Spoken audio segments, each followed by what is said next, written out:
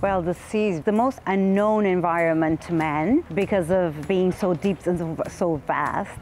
We haven't been able to fully observe it, to fully study it. Abyssal is a software company that provides for 3D visualization, simulation and digitalization of subsea structures. So meaning if you're an operator, an oil and gas uh, operator, and you want to lay some new uh, pipelines, or if you want to lay an offshore wind platform, you obviously want to see what's going on under the water, and our software allows for that.